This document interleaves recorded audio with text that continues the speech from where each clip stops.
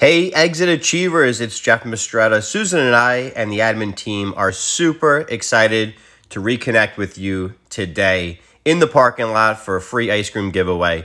We do ask that everybody lines up down Ledwidge Drive uh, and enters the parking lot in that fashion, almost like a parade. And then come around and cross the front of the building where you'll see us underneath the awning uh, with the ice cream. All right, and then we're asking that you head towards Peter's office, make a U turn, and then exit only out onto Jericho Turnpike. And please, please, please make that right turn. It is the safest way.